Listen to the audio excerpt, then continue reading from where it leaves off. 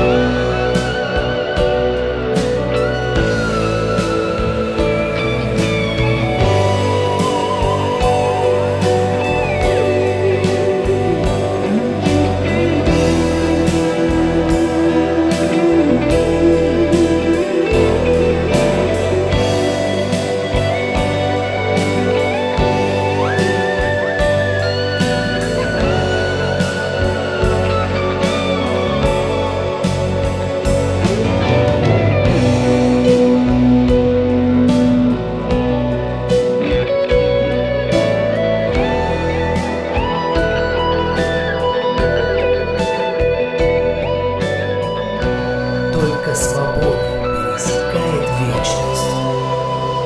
Жизнь есть безостановочное движение.